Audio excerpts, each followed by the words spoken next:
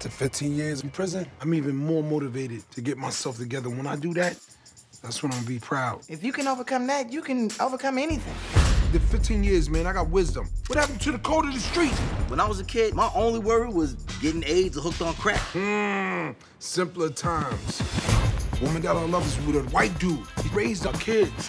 What is all this? Successful co-parenting. Kind of a thing now. Oh, you guys have a thing now. Yeah, we got Yeah, yeah, thing yeah. with dudes can have a dude thing. Oh. If you're gonna live here, you're gonna work. Josh, you do realize that he's never had a real job? I don't even know if he can read. Do you think you're being a little bit hard on Tray? Why? Because he's sitting right here. Second chances. That's what my food truck is about. The profit margin is incredible. and the food business, that is damn near impossible. Yo, come get your salad tossed. I would love to see my kids being born. Oh, no. Is that, is that a... Yeah, I just pooped on the table. Are you sure you really want to watch this?